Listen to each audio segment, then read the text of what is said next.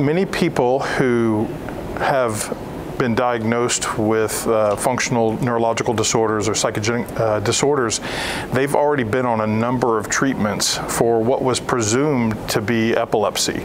So they'll receive anti-seizure medications uh, for what was thought to be epileptic seizures, when in fact, anti-seizure medications don't help people with psychogenic non-epileptic seizures.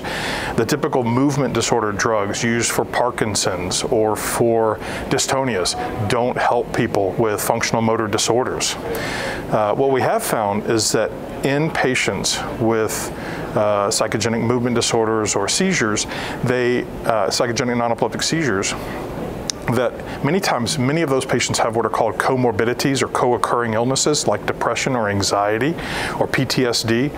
Treating those comorbid disorders with the appropriate psychotropic medications like an antidepressant or an anti-anxiety medication and using the appropriate psychotherapies, those are things that can help from a pharmacologic perspective, not directly treating the somatic symptom disorder, but treating the comorbidity.